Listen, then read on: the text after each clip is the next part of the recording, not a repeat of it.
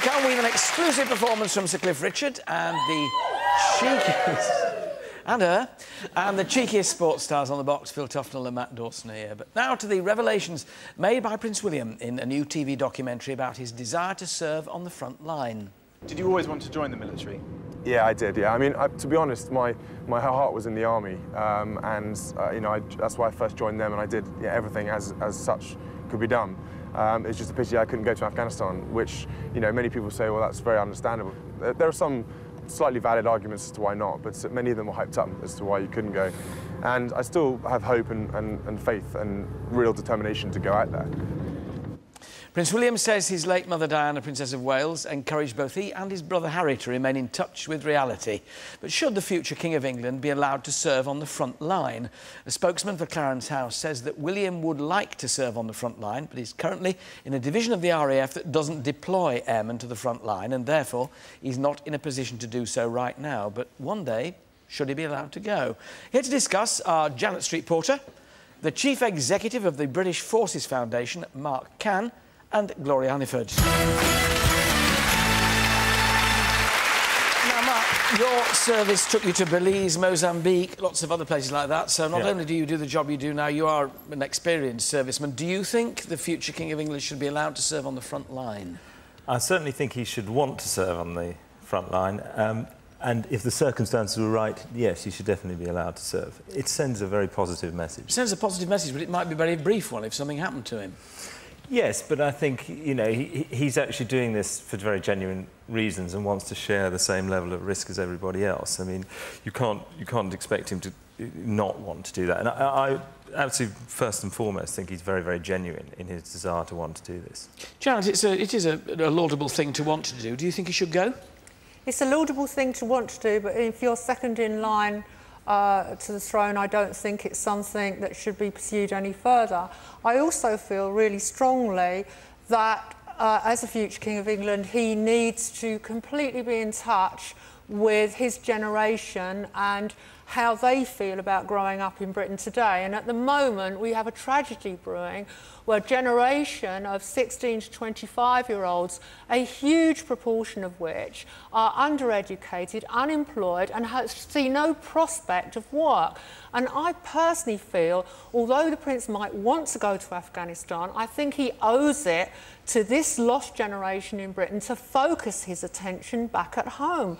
And we talk about morale, you know, I just let's be real about the morale, you know, the morale of this generation who are confined to living at home, have no choice about where to live, and are existing on very little money, and it is a time bomb. Yeah, but one of those um, one of those avenues out of that existence is the armed forces. Well, I'm sorry to fight a war so far from home, which is so controversial. No, no, a career.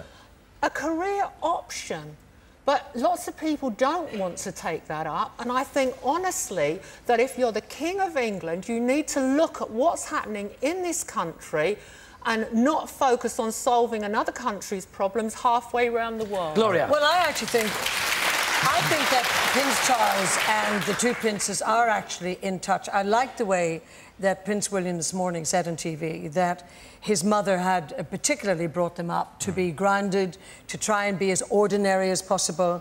And let's be absolutely honest, our young men and women are doing the most amazing job on the front line. Mm. They are. Mm. And I would imagine that Prince William, as a serving officer, um, would want to be seen as a leader, would want to be inspirational to young people, would want to be uh, to identify with all these young people who, let's face it, giving up their lives mm. in Afghanistan. on the other hand, I sort of sit on the fence on this one because, you know, uh, Prince William's ultimate career is to be the king. Mm. And whereas he sees his career in the forces at the moment, of course, as Janet says, you have to keep sight of the fact that there are extra risks on the front line, clearly. But there's another, there's, a, there's another, risk. There's another pragmatic risk here, Mark, and that is that if he comes out to you, wonderful morale for the chaps, but also in a way it makes him an even greater target, and therefore the men who are serving with him, around him immediately, it makes them a greater target. So in effect, while trying to fight for his country, he could be putting the men he's with at even greater risk. And he would never want to do that, but it all depends on the circumstances under which he deploys. Um,